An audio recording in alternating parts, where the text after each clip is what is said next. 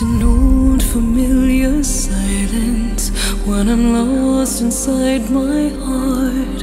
I can't hear the voice inside me, so I look up to the stars.